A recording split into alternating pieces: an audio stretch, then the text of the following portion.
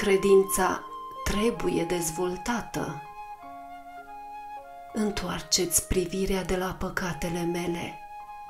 Șterge toate nelegiuirile mele. Psalmii 51 cu 9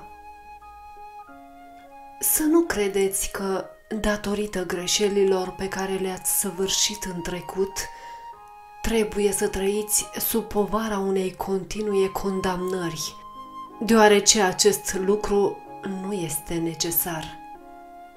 Veți trăi experiența fecioarelor neînțelepte, care nu și-au asigurat rezervele de ulei pentru lămpile lor, iar lumina lor, în cele din urmă, s-a stins. Credința trebuie să fie cultivată și dezvoltată.